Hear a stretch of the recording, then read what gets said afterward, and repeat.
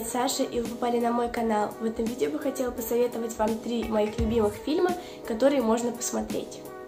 Но вы, наверное, заметили, что я хриплю, у меня немного заложен нос. Это все из-за того, что я заболела, но это логично. И еще я бы хотела извиниться за то, что я так долго не выкладывала видео. Я это уже много раз говорила, а это все из-за учебы, из-за того, что в прошлом году мы не успели написать какие-то итоговые контрольные из-за карантина. Мы их писали в этом году. Ну, в общем, вы поняли. И еще, те, кто подписан на мой инстаграм, знают, что я кое-что изменила в себе. Я подстригла себе волосы, которые мне были э, ниже пояса, вот, и передние пряди отстригла еще короче, вот, прям до конца моего лица, мне очень это нравится. Но если вы меня не видели с длинными волосами, то смотрите мои прошлые видео, там вы сможете увидеть разницу. А еще плюс к этому всему я проколола себе ухо вот здесь вот, делала себе еще одну дырочку, мне тоже очень нравится. Ну ладно, не будем долго на этом зацикливаться. Заваривайте чаек, берите печеньки, но мы начнем. Первый сериал – это «Очень странные дела», он мой самый любимый. Действие сериала разворачивается в вымышленном городке Хоукинс в штате Индиана. В первом сезоне из секретной правительской лаборатории сбегает девочка, обладающая телекинезом. И в то же время таинственным образом исчезает мальчик. А его друзья и шеф местной полиции начинают поиски пропавшего. Второй сезон посвящен попыткам персонажей вернуться к нормальной жизни после событий в первом сезоне. Третий сезон рассказывает о событиях, произошедших в Хоукинсе в 1985 году.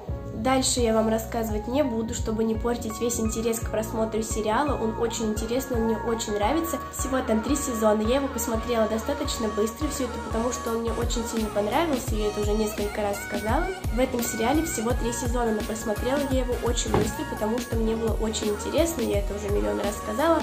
Но мы приступим к следующему. После сериала у нас идет фильм под названием «Знамение».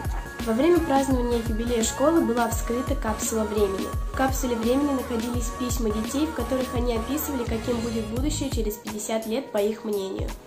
Одно из посланий писала маленькая девочка. Оно отличалось от всех писем своим содержанием. Вместо повествования о будущем в письме находились цифры. Но дописать девочке не удалось, и оно осталось незаконченным. Необычное послание из прошлого досталось слабо слышащему мальчику – послании оказались даты катастроф, произошедших и грядущих. Одна из дат совпадала с датой смерти жены профессора, которая погибла несколько лет назад. Установив закономерность страшных событий, профессор попытался спасти жизни людей, рассказав о грядущих бедах. Но в его догадках никто не увидел достоверных доказательств. Дальше я вам также рассказывать не буду, чтобы вам было интереснее смотреть. Фильм тоже интересный. Концовка этого фильма очень интересная, она необычная и вообще неожидаемая. Расскажу я вам об этом сериале немного, так как в этом сериале очень много разных интересных моментов, из которых и состоит весь фильм. И если я вам расскажу, то будет неинтересно смотреть.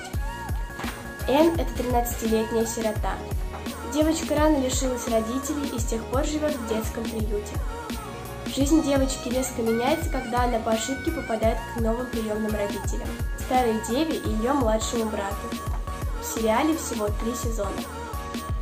А сразу скажу, этой девочки очень запутанная история, там много разных загвоздочек интересных, которые вы можете заметить, поэтому обязательно посмотрите, этот сериал мне тоже очень понравился. Ну а на этом все, я надеюсь, что вам понравилось это видео.